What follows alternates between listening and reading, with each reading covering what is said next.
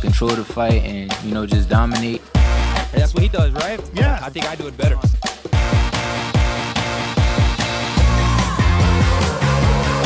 Ladies and gentlemen, the destroyer, Andy Ruiz. What do you see in the third round here from Guthrie so far? He's doing a fantastic job of getting the mount. It is pretty darn close in a lot of ways. Ray Ford is having fun in there. He's smiling. He looks so relaxed. I think he's enjoying this and doesn't feel the pressure that he has in the past. Was the way, Kenny. Oh, it's a big right now for Holland. And Wonderboy does to cover up. He said that that right hand would hurt him all night long. Wobbly on his feet. Oh! And another big right hand. Kasanganay is finishing him. This one is over.